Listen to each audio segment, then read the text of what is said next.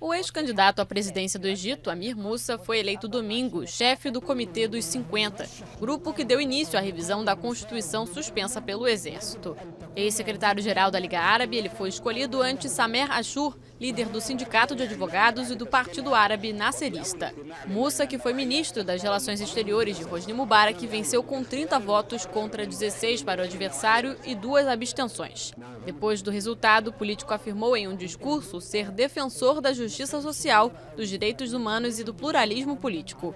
O comitê tem agora 60 dias para entregar a versão reformada da Constituição ao presidente interino, que terá 30 dias para anunciar a data do referendo. O presidente islamita Mohamed Mursi foi destituído no início de julho.